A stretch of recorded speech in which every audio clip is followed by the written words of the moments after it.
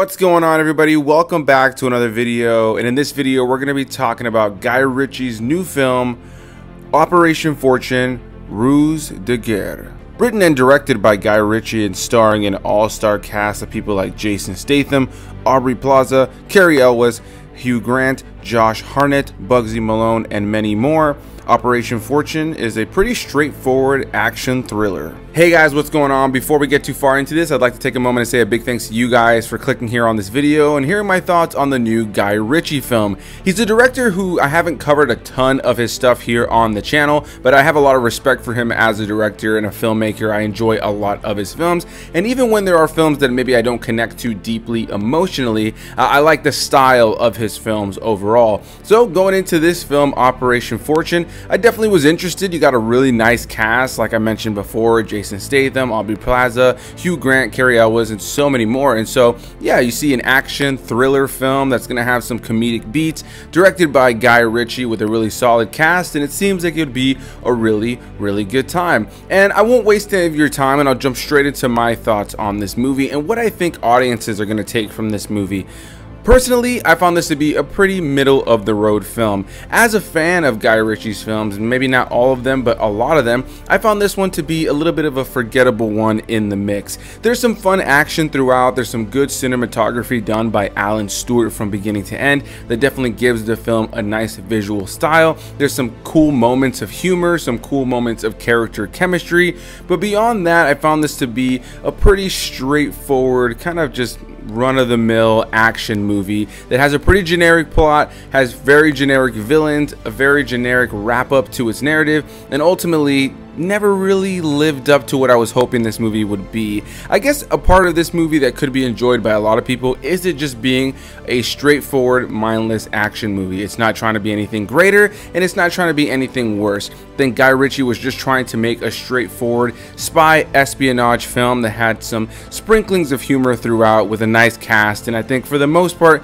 he pulls that off. But in terms of this being a memorable Guy Ritchie film that I'm going to revisit in the future, uh, I can't really say that that's necessarily going to be the case when it comes to Operation Fortune. The basic premise of this film is some bad guys have taken a thing that's military grade that cannot be in the hands of the bad guys, so they get this group of mercenaries together. You got the, the leader played by Jason Statham. Uh, you know, you got the, the, sharpshooter, you got the tech person, you got the comedic relief in the mix, and uh, they end up going and trying to stop the bad guys from using this thing that they now have in their possession. And along the way, there's another group of mercenaries working for the government to try to get their hands on this device as well. And so you have two different mercenary teams going head to head trying to get this device from the bad guys. And I'm sure you can kind of see where this movie would go. It's a pretty straightforward premise. It's nothing you haven't seen before. It's nothing that really reinvents the wheel or does anything different or exciting with the genre. It's a very straight run-of-the-mill action film that knows what it is. It was enjoyable at times, but I'll be completely honest in saying that there were times where I felt the runtime was very much felt. I did feel the runtime throughout the course of the movie, and there were a couple of moments where I found my eyelids getting a little bit heavy. Not because I thought the movie was bad, it just at times felt so run of the mill and at times felt so by the numbers that I ultimately just saw where the movie was going. I felt a little bit just dull and bored at times. And while I was still entertained by the overall film, there were ultimately sections of the film that I never really found myself too invested in because it just seemed like the hey, we're here for this moment of the film where we're going to sit in a room and talk about what we need to do. Here's the plan. Here's these characters. Uh, here's what we're going to go do. Here's that random bad guy that's just going to show up for two seconds and say the random bad guy thing here's a quick little moment of action and then we're just going to kind of move on to another moment where we're sitting in a car and setting up the plan for the next part of the movie. And by the time you have done that for the first 40 minutes of the movie I just ultimately mentally was just starting to check out a little bit. Again I didn't dislike the film. I just thought that it was a very middle of the road film. I was entertained enough but this isn't a movie I could ever see myself revisiting. Again I think the biggest highlights of this film without a doubt are the cast who I think definitely elevate the material here. Uh, there are definitely some great moments of chemistry with the cast. There's definitely some great moments of humor.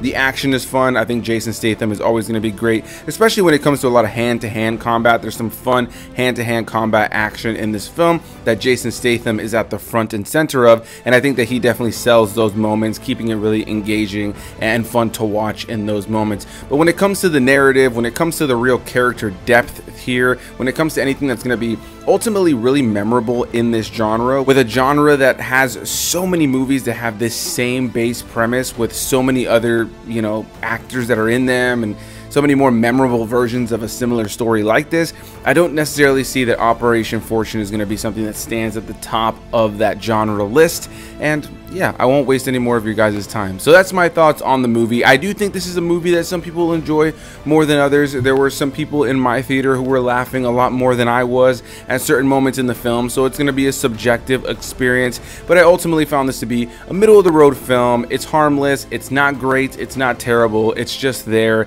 I think if you're going to watch it, I don't know that it's necessarily worth rushing to theaters to see. I think there's better things in theaters that I would recommend people go and see.